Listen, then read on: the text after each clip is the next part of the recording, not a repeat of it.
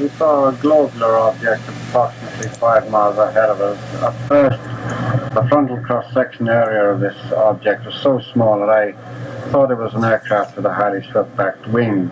But as it got closer to us and below us, it was obvious that it had no wings at all.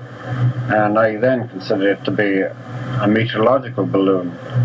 Um, after it passed us by, from first to last sight was approximately 10 seconds, and it then occurred to me that the speed of closing was so great that it couldn't possibly be a free balloon. Um, I have no idea what it could be, and I passed the report to London Airways. How big was the object? Well, it's very difficult to assess the size of any object whilst flying. Um, all I can say, the closest I can get to it is that it was smaller than a Viscount. Was it travelling at any great speed? Uh, well, the closing speed of both the object and my own aircraft was up in the region of a thousand miles an hour, which means that the object itself must have been in, uh, doing at least six to seven hundred miles an hour.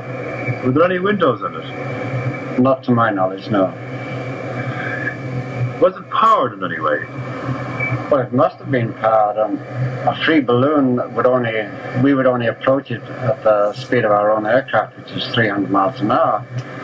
So it must have been powered. The speed of closing was too, much too great for it to be a free balloon. Did anybody else witness the object? Yes, First Officer Murphy, my co-pilot.